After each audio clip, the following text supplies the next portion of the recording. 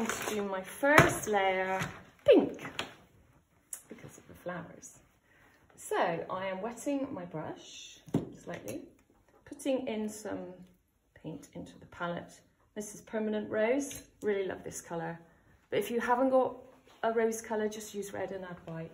This to be wet. This is probably the only time tonight where you're going to really wet the brush. So I'm mixing that in and there's a little bit of white in here because I want this, this is an almost opaque colour. So I want it, not opaque, this is almost transparent. So I, I want it to be opaque. So I'm adding some white to it and it has to be runny. Okay, think about watercolour. When we do a wash for watercolour, this is like a wash, right? Ready, steady, go. And you're just slapping it on. This is the easiest bit of tonight. just get it on really, really quick. This is not as important as everything else that's gonna go on top of it. So don't worry if your brush, brush strokes are going this way and that way, get it on, but don't let it dry whilst you're doing it. You haven't got long because it will go streaky. So you want it to kind of all be one, like a wash, but it's called ground So just get it on, not too wet so paper will buckle. Don't worry about those brush strokes. If you are worried, lay off the pressure, okay, as you do your final sweep. That's it, done.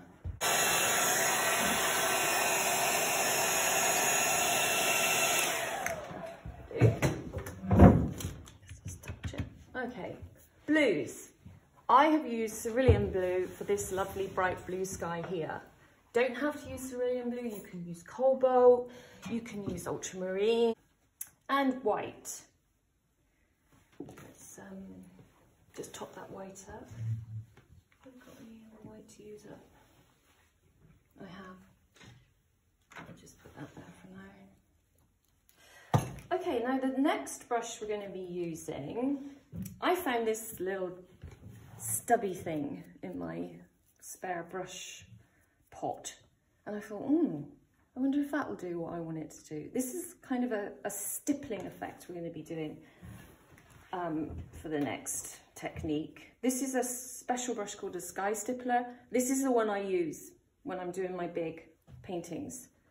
This is the one I use, but I want to try and to use this one because I just think he's you know, you don't want to go out and buy a sky stippler, do you? So I just want you to see that you can do it. And I bought this one, look at that. It's like something you stick up a chimney pot. And that's meant to do the same thing. So you want this, this is dry brushing now. We don't want any water. Now this is slightly damp from this morning, so it should be okay. So I'm gonna start off in the top left-hand corner. You can start wherever you want. You could probably start in the middle, but I want my brightest blue to be in my top left and I'm going to be working down. Now I'm going to work really fast and try and finish this in about two minutes because I want you to work as fast as you can as well. So you take your stippling brush and one side you put on your cerulean blue. So it's dry, there's no water on it. On one side of the brush, you got your blue, your cerulean, your whatever blue you want, and white. Pick up a little bit of white on the other side. Now I'm going to start off in this corner with the blue, and I'm going to do a round and round motion, and it doesn't matter if you don't cover, okay? Now I'm going to start to turn my brush and bring in a little bit of white, and I'm going to go back up. Turn my brush again until all that paint is used up. And I'm going down and up. I'm working a little bit of white that got spilt in there, I'm working it in. Okay, that's probably about as much as I can do there. Now I'm gonna load my gun back up again with some more white. I'm not gonna go back into the blue because I wanna fade out into white. Now work, don't go back in directly in, work about a centimeter, um, an inch, and then turn the brush and work in. So you're turning your brush moving that white in and starting to blend it into that dark blue up there. You have to work quickly because it's all drying very quickly. Turning the brush all the time So you don't really need to load that blue up because it's being activated by the moist white that you've just put on. But you'll know when to load up. So I'm actually going to load up some blue, pick up some white. Right, that's gone dark. Oh, so we're going to stay dark, are we? I don't want it to be dark. So I turned onto the light one. Now I can't really go back up there again because that's starting to dry. So I've got to be mindful to keep away from that area now. This is only the first layer. So I keep moving down, load up with some more white, over here. Okay, the pressure I'm putting on with my hand is, it changes, it's heavier here. I'm more centrally pressing down into the bristles of the brush and then I'm sort of laying off a little bit as I go into the colour. Just keep moving. So when you're bringing in a fresh lot of paint, start here to see what you've got and then move in. Load up a bit more. Blend and blend and blend. Not working fast enough.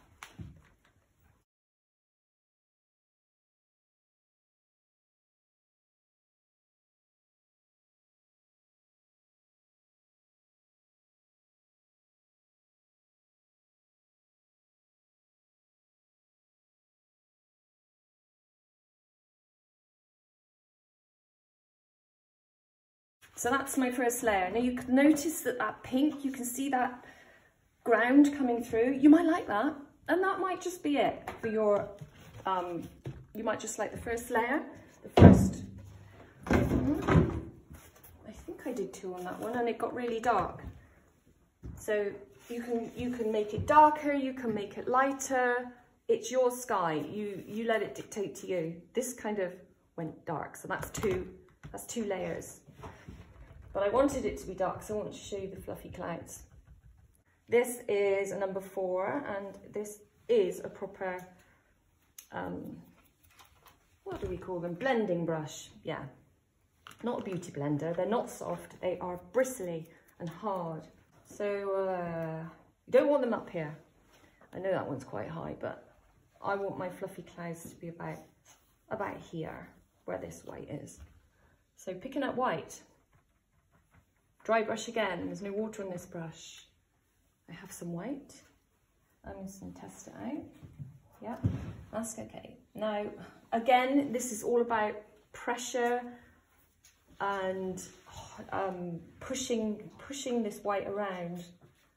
So it's very white at the top and you've got to make a, an irregular kind of shape because clouds are fluffy and they're not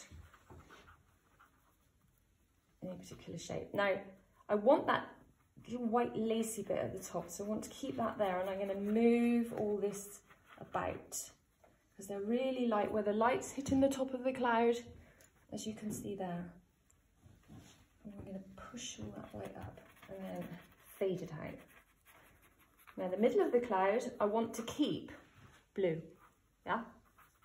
And you can fade out the bottom or you can add another cloud because you've got other little wispy ones coming in underneath.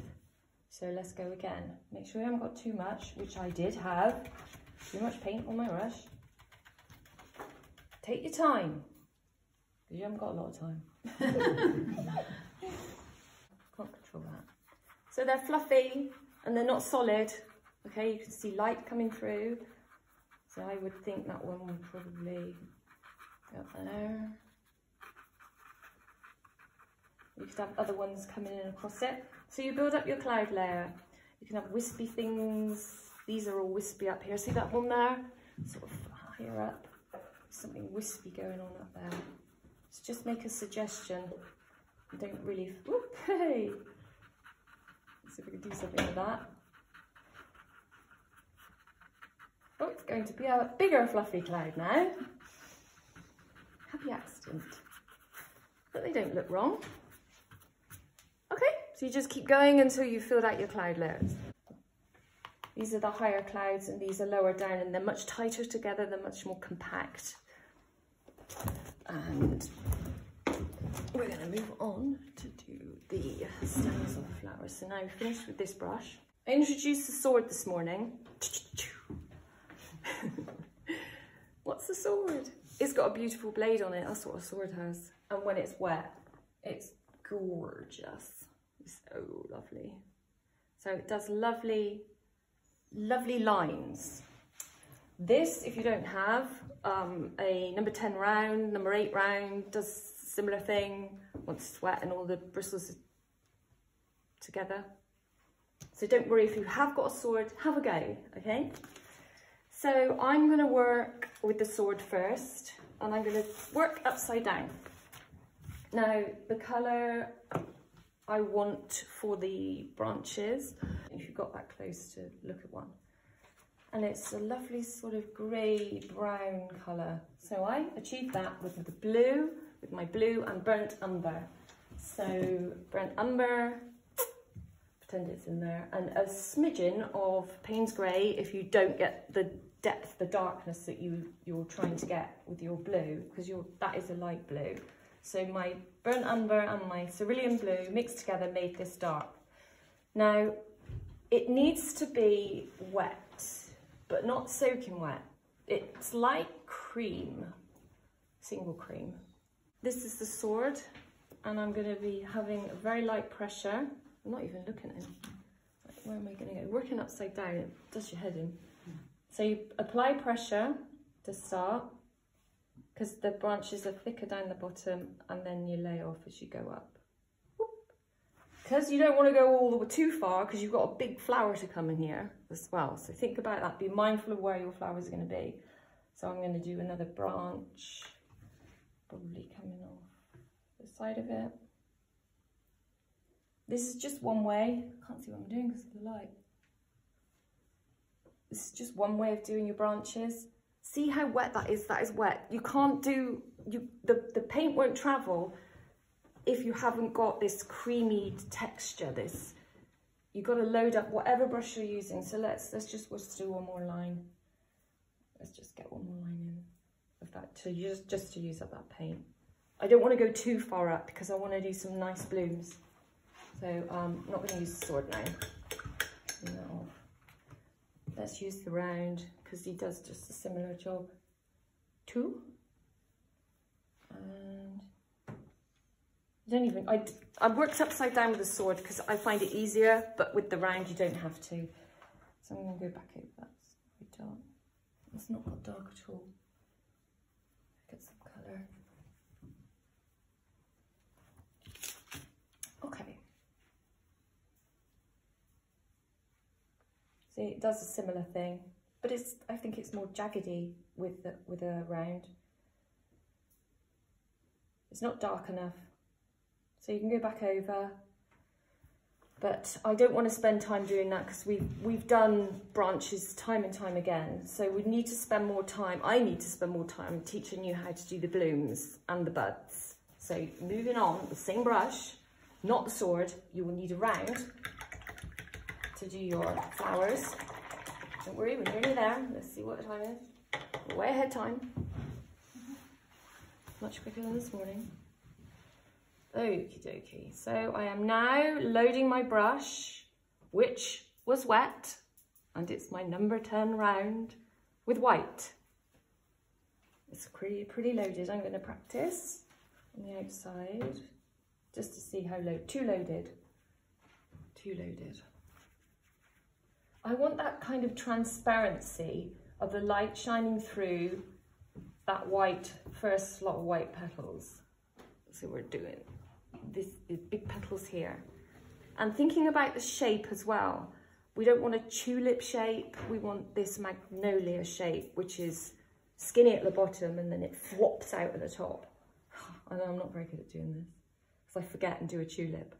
so let's just see if that's going to work. I think it will. You can't probably see what I'm doing. So I am light pressure to start because it's got a thin bottom and then I press and release. So that's your first petal. And once you've done your first one, you're off. They join up because they're fat in the middle. And then they go press, get that out and release. They're sort of weird shapes. They're not uniform like a tulip. Okay, so that's moist. Oh, and I've also disconnected it from the top of the branch. That's important as well. Don't start your petal at the end of the branch because we've got, I just found it easier to add all the other bits I'm going to show you. Um, that one hasn't got a lot of pink on, but some of the ones, especially the ones that I think are in, that are actually in Japan or wherever, are really pink. Some of the really, really bright pink. So I'm going to do a really, really bright pink just as a contrast. So keeping that white on there, I'm just going to load up with pink and go straight from the bottom and do the same thing. Hmm, too much pink. I want to kind of, I want to kind of fade it out into that. Okay, that's pretty much it for the petals. I mean, if you look closely, there is a line of pink. The, the pink actually goes, there's a line going up through the centre. Depends how, how realistic you want it to be. So um, that is one flower. Let's do the shell around the outside. So this is sap green. I use sap green and to make it more yellow, yellowy green, I use cadmium yellow. And if I wanted to make it a darker green, you just add Payne's grey or a lighter green again, you just put white in it. So this is sap green here. So I don't think that's the right green. So I'm going to yellow it up and see what that does as my first green.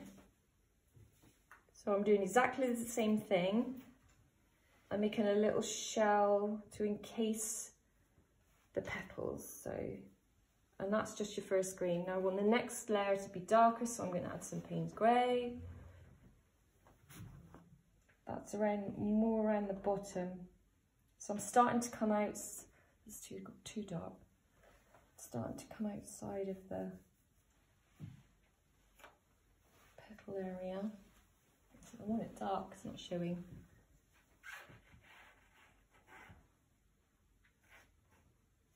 and then we need to obviously attach it. There's little like buds almost coming out here. And these can be repeated little bud things. These are the guys that are going to come out when those ones are finished. So we need to add those on. And well, let's do some buds as well. So we've got ones that haven't opened yet or they're semi-open. So same brush, just clean that off. You can do one flower at a time, We could do multiple flowers, but remember this, this blending thing with the pink works best when the white behind it is moist. So if you go ahead and do everything white and then go back to do the pink, it might not blend so well. So I would do one flower at a time. Um, let's do a bud. So a bud is, where would a bud be? Let's just put one in here. There's a load of white in it, Bridget. So it is, it is just that. Let's do another one there. Oh, I almost want to make that one flower. Mustn't. Let's put some pink on. There's a little bit of pink on that bud, but that probably won't show. Let's get the green on.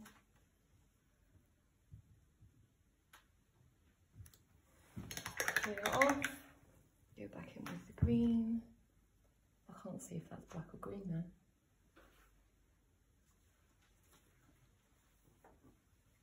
And connect it on. Always test it out.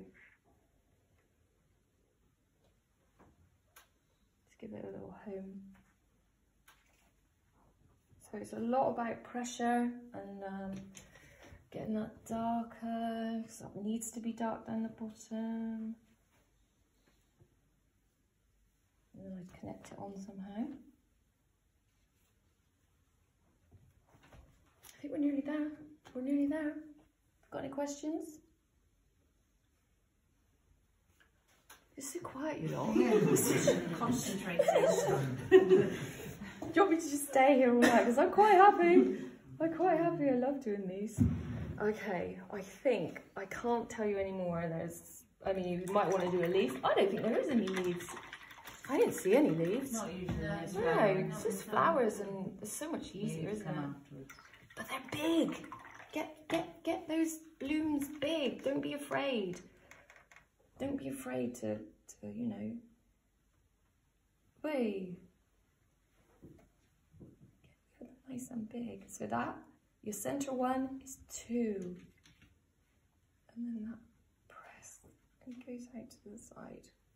So so be bold if you want. You know, or you might want to do tiny little ones like a big tree. Just like that. Just like that. There's a lot to think about, but try, try and work hastily. You have an hour and a half.